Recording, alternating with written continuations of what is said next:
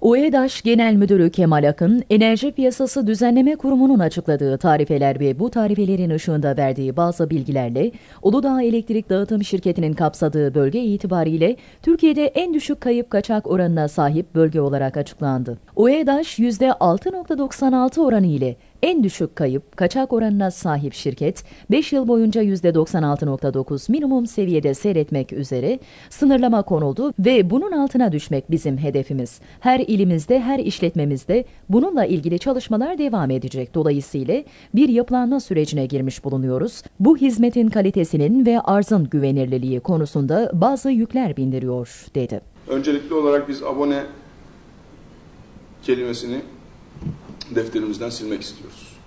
Bizim için artık müşteriler olacak. Ve e, müşteri hizmetleri konusunda müşteri memnuniyetini sağlayacak her türlü önlemi de almak bizim görevimiz olarak addediyoruz. Ama bu e, uzun soluklu bir koşudur. 3-5 ayda bugünden yarına bitecek bir koşu değil.